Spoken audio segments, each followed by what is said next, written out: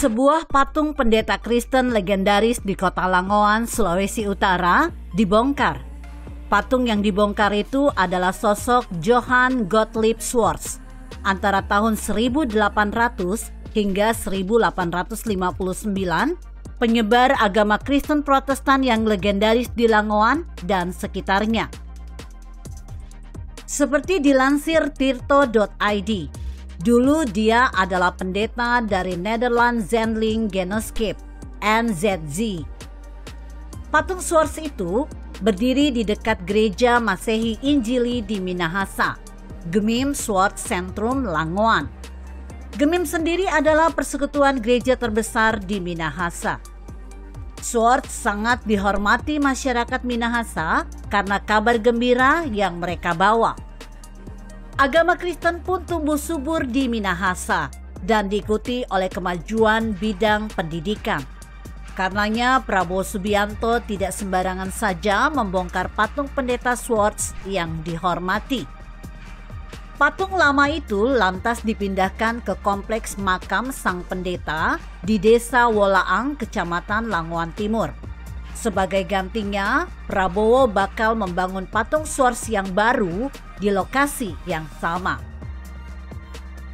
Bedanya, patung baru itu bakal dibikin dari campuran perunggu dan tembaga. Itulah persembahan Prabowo Subianto untuk Tanah Minahasa menjelang tibanya Hari Raya Natal tahun ini. Patung itu sumbangan pribadi dari Bapak Legend Punawirawan Prabowo Subianto. Beliau menugaskan Bapak Majen Purnawirawan Gleni Kairupan untuk proses pengangkutan hingga pemasangan monumen yang baru nanti.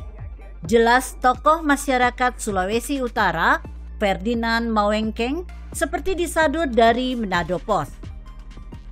Tanah leluhur Prabowo, pendeta Swartz hidup sejaman dengan Johann Friedrich Riedel antara tahun 1798 hingga 1860 yang mengkristenkan Tondano dan sekitarnya. Sebelum kedua penginjil itu datang, orang Minahasa menganut agama lokal Alifuru. Kedua pendeta itu juga hidup sejaman dengan Kiai Mojo sekitar tahun 1764 hingga 1849 mantan pendukung utama Pangeran Diponegoro itu menghabiskan sisa hayatnya di kampung Jawa Tondano. Setelah berakhirnya Perang Jawa antara tahun 1825 1830. Menurut pendeta Nikolaus Grafland, dalam Minahasa, negeri, rakyat, dan budayanya 1991 halaman 458 459 Kiai Mojo pernah berinteraksi dan menjalin hubungan yang rukun dengan Riddle. Kiai Mojo pernah diberi Injil oleh Riddle. Para pengikut keduanya juga rukun hingga hari ini. Tanah Minahasa dan terutama Langoan punya arti spesial bagi Prabowo. Dari sanalah asal muasal leluhur keluarga Prabowo dari pihak ibunya, Dora Mary Sigar. Ibu Prabowo adalah keturunan dari Tawaijen Sigar alias Benyamin Thomas Sigar antara tahun 1790-1878. Tawaijen adalah seorang pemuka masyarakat yang pernah jadi hukum besar atau mayor di Langoan. Ia juga hidup sejaman dengan pendeta Swartz. Menurut Jesse Wenas, dalam Sejarah dan Budaya Minahasa 2007 halaman 51, Benjamin Thomas Sigar turut terlibat dalam Perang Jawa. Dia adalah salah satu kapten dalam pasukan tulungan, Satuan Holtbruten atau pasukan bantuan bagi militer Belanda yang dipimpin Mayor Herman Willem Dotulong. Banyak yang percaya Benyamin ikut terlibat dalam penangkapan Pangeran Diponegoro di Magelang. Setelah Perang Jawa selesai, Swords masuk ke Langoan, masyarakat di sana perlahan meninggalkan kepercayaan lamanya. Kabar baik yang dibawa Swartz lalu diimani oleh rakyat Langoan, termasuk keluarga Benyamin. Keturunan Benyamin di antaranya jadi orang penting. Ada yang pernah menjadi mayor atau setidaknya menjadi elit pamung praja era kolonial. Kakek Prabowo, Philip Frederick Lawrence Sigar, pada tahun 1930-an memboyong keluarganya ke negeri Belanda di sanalah Dora bertemu Sumitro Joyo Hadikusumo. Ayah dan ibu Prabowo seperti disebut dalam buku jejak perlawanan Begawan Pejuang 2000 halaman 396 kembali ke Indonesia pada 1946. Pada awal 1960-an, pasangan Sumitro Dora dan keempat anaknya sempat jadi keluarga pelarian di luar negeri karena masalah politik. Patung pendeta Swartz, hadiah Prabowo itu dibuat oleh seniman patung Yogyakarta, Dunadi. Sebelumnya Dunadi jugalah yang membuat patung Soekarno yang berdiri di halaman Kementerian Pertahanan. Lain itu, patung Soekarno karyanya juga menghiasi halaman Lemhanas RI. Patung Pendeta Swords tiba di Langoan pada 2 Desember lalu. Hari itu juga patung hadiah Prabowo ditegakkan di depan Gemim. Tinggi patung itu sekitar 6 meter dengan berat mencapai 2 ton. Menjadikannya salah satu monumen terbesar di Sulawesi Utara. Pematung Dunadi pun turut serta dalam proses pendirian monumen hari itu.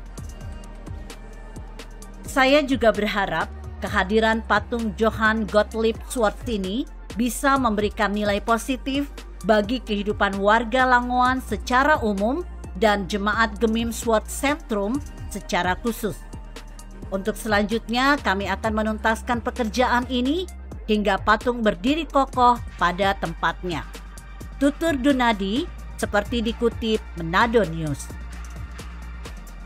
Adakah alasan khusus dari hadiah Prabowo itu?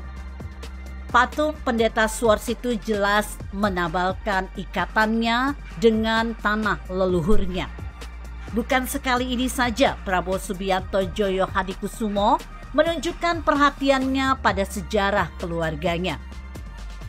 Sejak muda, dia kerap berkunjung ke makam leluhurnya, termasuk ke makam Benyamin Thomas Sigar Selain dari pihak ibu, dia juga kerap berziarah ke makam kakeknya, Margono Joyo Hadikusumo di Banyumas.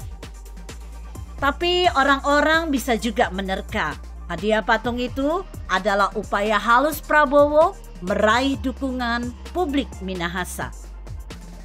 Prabowo sudah dua kali mencalonkan diri sebagai presiden dan dua kali pula dia gagal.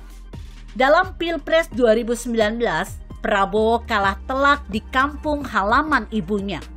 Bahkan di sebuah TPS, Prabowo hanya dapat 7 suara, sementara lawannya mendapat 230 suara.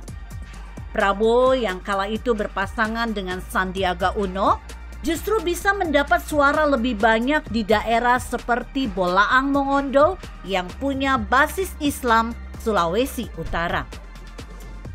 Nah, jika melihat uraian di atas, hadiah patung miliaran rupiah tersebut bukan karena alasan politik, tapi ini adalah bentuk perhatiannya terhadap tanah leluhur ibunya.